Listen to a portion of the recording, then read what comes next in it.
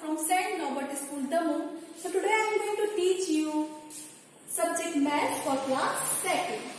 Today we will read chapter number 8. Today we will learn about odd and even numbers. So first question is what is odd and even numbers means? Means odd and even numbers का means क्या होता है? सम और विषम संख्याएँ. Odd means विषम और even means सम.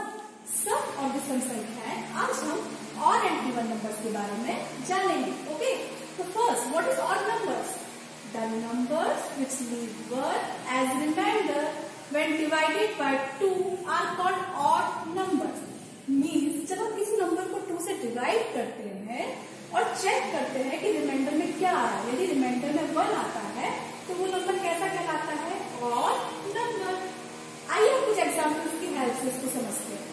One three five seven nine eleven thirteen fifteen seventeen nineteen ये सारे नंबर कैसे नंबर्स हैं?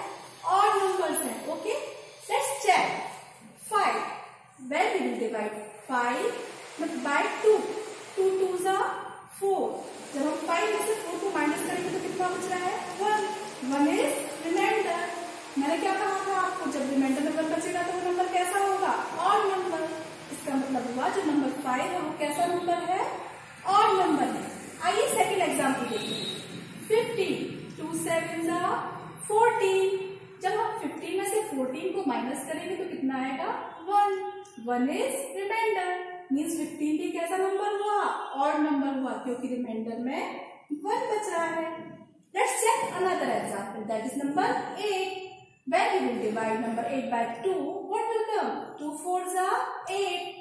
8 में से 8 को माइनस करेंगे तो क्या आ रहा है? ज़ीरो कुछ भी नहीं. मीन्स ये नंबर ऑड नंबर नहीं हुआ, क्योंकि ये हमारी ऑड नंबर की कंडीशन को सेटिस्फाई नहीं करता। तो ये नंबर कैसा हो जाएगा? इवन ये ऑड नहीं होगा. मीन्स किसी भी नंबर को आप टू से डिवाइड करके इजिली चेक कर सकते हो कि ये नंबर ऑड नंबर है या नहीं। रिमाइंडर में कितना बचना चाहिए? वन जब आप कुछ चीज़ें लेते हैं तो आपको क्या करना है कि टू टू के पेयर बनाने जब आप टू टू के पेयर बनाते हो लास्ट में वन नंबर बचता है तो वो क्या कहलाएगा? ऑड नंबर बट जब नंबर छोटा होगा तो आपके लिए पेयर बनाना आसान होगा. बट जब नंबर बड़ा होगा तो आपको पेयर बनाना बहुत मुश्किल होगा. तब आप इस मेथड का यूज़ कर सकते हो. आप क्या करोगे? उसको टू से डिवाइड करके चेक करोगे. बट यहाँ पर मैं आपके लिए एक शॉर्ट ट्रिक भी लेकर आई हूँ, जिससे आप बस दो मिनट में देखकर ही बता सकते हो कि ये नंबर और नंबर है या नहीं। आइए देखते हैं वो ट्रिक क्या है। One three five seven nine end at numbers are called odd numbers means आपको नंबर के लास्ट डिजिट को चेक करना है कि वो वन थ्री फाइव सेवन और नाइन में से कोई एक होना चाहिए। तभी वो नंबर कैसा होगा? ऑड नंबर देखिए, इसके लास्ट में क्या है? फाइव मीन्स क्या हो गया? ऑड नंबर लास्ट में क्या है?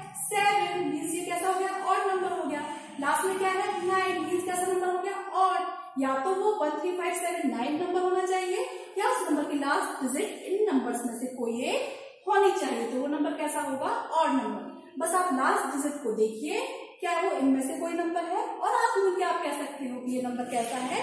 ऑड नंबर आपको ऐसा करने में सिर्फ़ एक सेकेंड लगेगा, है ना? तो कैसे लगी आपको ट्रेन इवन नंबर्स सम संख्याएँ। क्या होती है even numbers the number that make pair without leaving a remainder are called even numbers no remainder is left when an even number is divided by two means जब हम किसी number को to से divide करते हैं, और कुछ भी रिमाइंडर में नहीं बचता मीन्स ज़ीरो बचता है तो वो नंबर कौन सा नंबर कहलाता है?